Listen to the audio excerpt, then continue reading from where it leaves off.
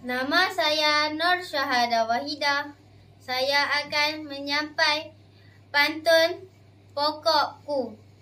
Kulihat pokokku ini ditumbuh pada waktu pagi.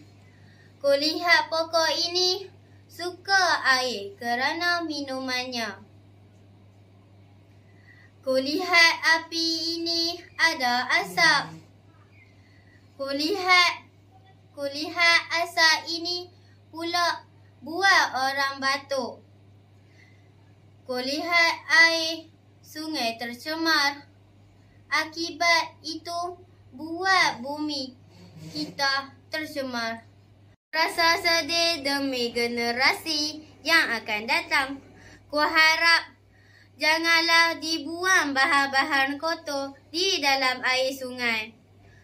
Ku harap, ku harap sangat hasratku akan tercapai agar pokok-pokokku selamat.